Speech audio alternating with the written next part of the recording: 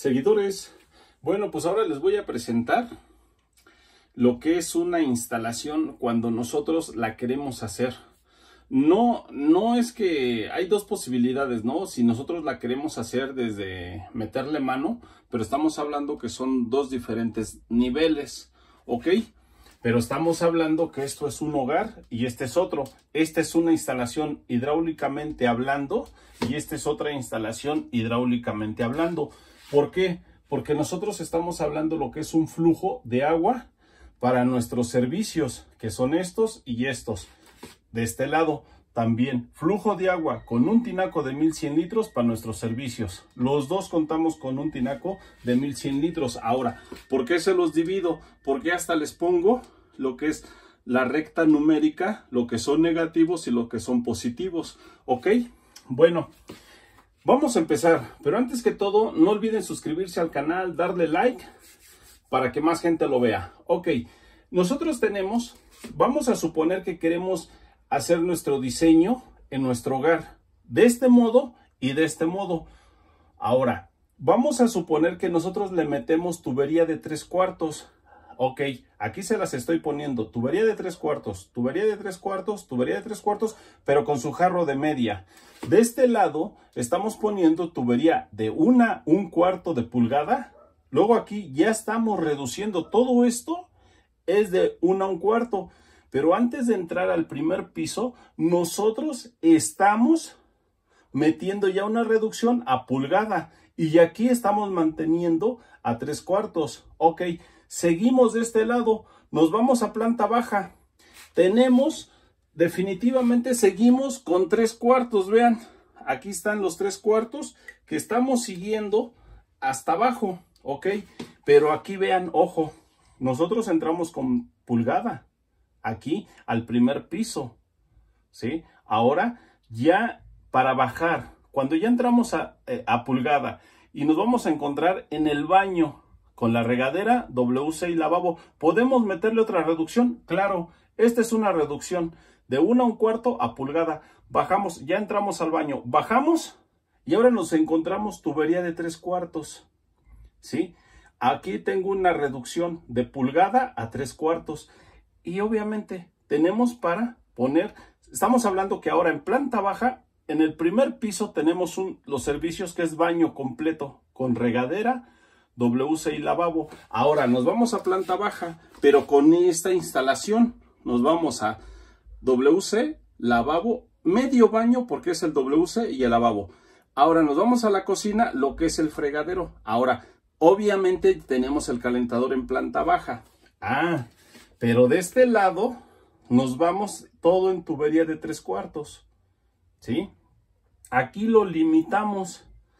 Recuerden donde nace el buen flujo es en esto, poniendo una buena tubería con el diámetro correcto para los servicios que nos piden en ambos pisos, todo se va a ir a ganancia. ¿Por qué? No por esto estoy hablando que del 1 al 6 me va a incrementar más el agua. No, él ya va, ya va, ya tiene un volumen más el, volumen y el caudal que se va a generar con la caída con su jarro de aire en tubería de media. Así tengamos de una y media, los jarros de aire pónganselos en media, no más, ni tres cuartos. Les va a funcionar, desde media les va, a funcionar con una un cuarto y una y media. Aquí también estamos hablando de que es de media, igual, no porque sea de tres cuartos hay que meterle tres cuartos, no. Yo en la, la salida le estoy poniendo una tuerca unión y su llave.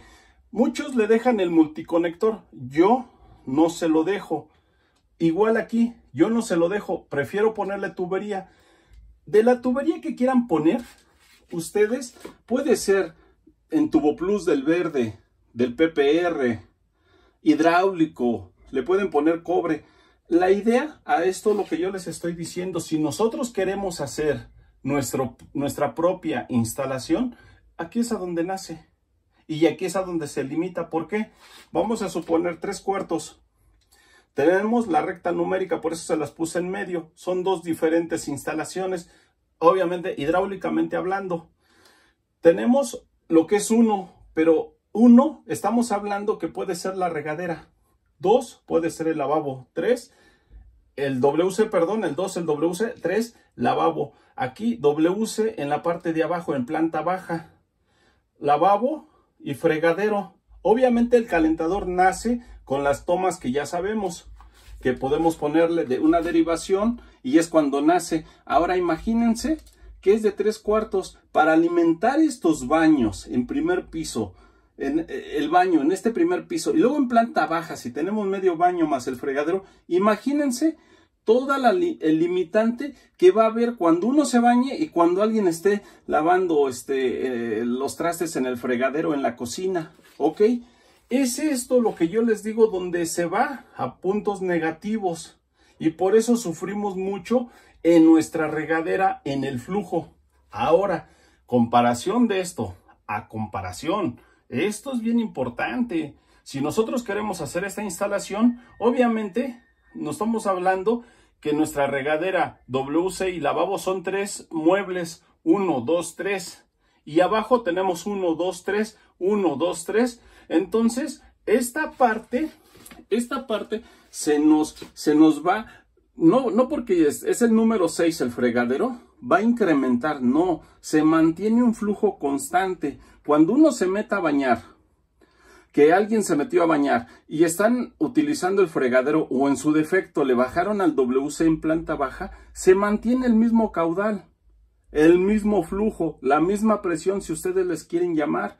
Obviamente con una base, yo, muchos la ponen de un metro, eh, yo no puedo hablarles de una, de una altura en específico. Yo sí jamás hablaría de una, de una altura Muchos la ponen a 40 centímetros, medio metro, un metro. Pues yo, si no tenemos panel solar, yo la pondría a 60 centímetros. Entonces, al ponerla de 60 centímetros con esta tubería, no hombre, podemos lo que quieran hacer en el fregadero y se pueden bañar. Obviamente aquí están haciendo también para el calentador, ¿sí? Es esto lo que yo les quiero hacer ver que si nosotros queremos hacer nuestra instalación, yo les recomiendo esto, hacer esto. Recuerden, jarro de aire en media, aunque tengamos una y media aquí, le pueden poner una y media, luego una pulgada, es válido, pero hidráulicamente, hidráulicamente, así es como trabaja. Con este volumen, más la, altura, el diámetro del tubo, imagínense el caudal que va a generar. Entonces, este caudal con esta tubería yo les puedo asegurar que se mantiene un caudal que se va todo a ganancia. No vamos a tener limitantes porque todavía si ponemos el calentador, no hombre, de esta bajada nace, conectamos el calentador para que alimente la regadera de agua caliente y el fregadero y hasta los lavabos y no se nos va a limitar.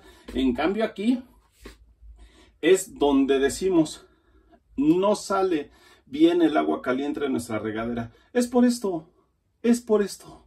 Esto es lo que nos ayuda a puntos negativos y aquí nos ayuda a puntos positivos. Es eso lo que yo les quiero hacer ver, que todos estos muebles son los que están señalados aquí, pero se mantiene un flujo. No estoy hablando que porque es 6, el fregadero va a incrementar más el agua, no. Es de que se mantiene un flujo constante para todos nuestros servicios y aquí lo tenemos un poco limitado. Entonces, si tuviéramos ya la instalación que es de tres cuartos, bueno, pues cambiamos la tubería por lo menos en esta parte donde yo siempre les he dicho. Y recuerden, la constante de todo lo que he visto hidráulicamente es una constante, es un problema, es que no tenemos presión, flujo, caudal en nuestra regadera, ¿sí? Me han llegado muchas preguntas, ¿por qué no tenemos buena presión en la regadera, flujo caudal? Les digo, es que ¿cómo tienes tu, instalación? Si tú tuvieras y, y haces esto, pues obviamente que todo nos va a funcionar bien. ¿Ok? Bueno, seguidores, esto es lo que les quiero compartir. Aquí es a donde nace el buen flujo, la buena presión o el buen caudal. Bueno, hasta aquí los dejo. Nos vemos. Hasta la próxima.